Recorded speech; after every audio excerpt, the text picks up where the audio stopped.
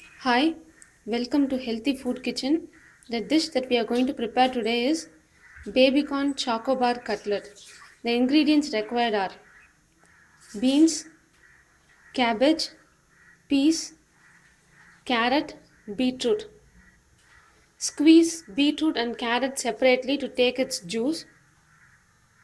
Oats, baby corn, chopped onion, tomato, coriander leaves, potato. Potato is boiled with salt, chili powder, turmeric powder. Squeeze carrot well.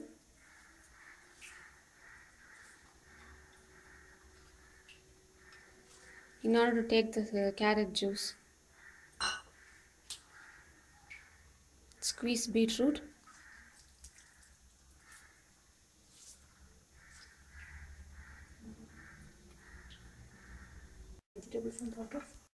We have mixed all the vegetables together.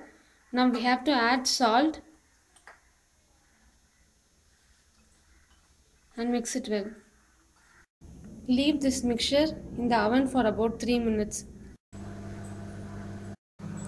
Now we have to powder this oat oats mixture well.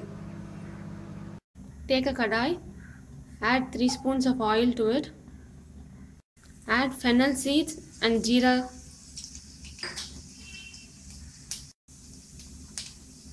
add chopped onion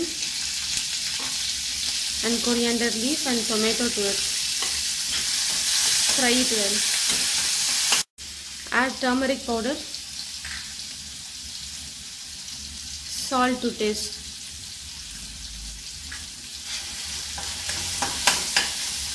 Add chili powder mix it well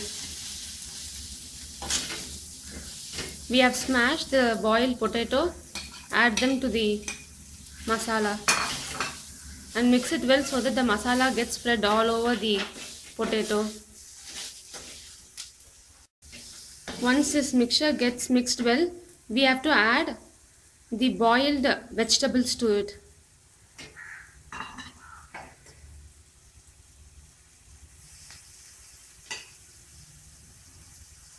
mix it well.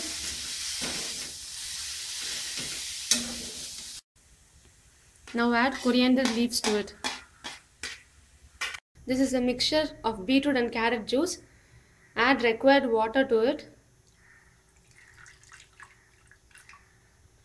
Now add corn flour and salt.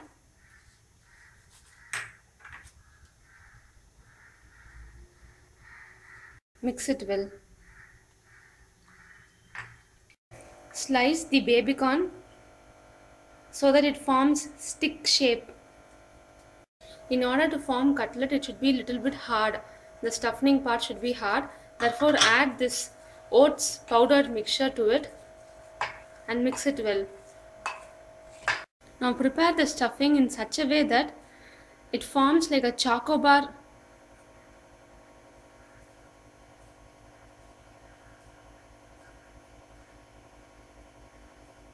Once it forms like a chopstick,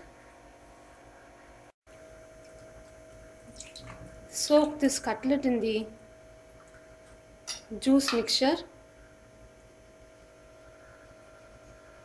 and wrap it with rusk powder so that the mixture sticks well and it will be a little bit roasted. Take a frying pan and add the oil required once the pan gets heated, add the chocobar baby corn to it.